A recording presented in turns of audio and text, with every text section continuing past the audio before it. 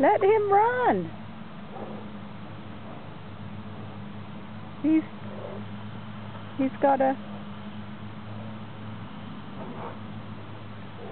run, hush, Shiloh.